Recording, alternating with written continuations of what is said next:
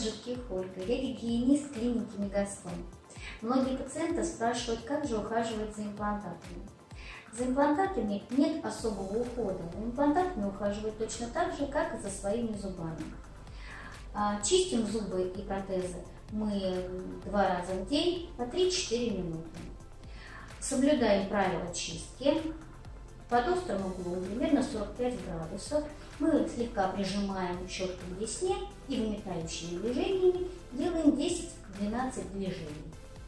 Незначительно массируя десну. Слегка прижмем щетку к поверхности десны и делаем незначительные массажные движения. Подставляем щетку к десне, примерно на 45, под 45 градусов.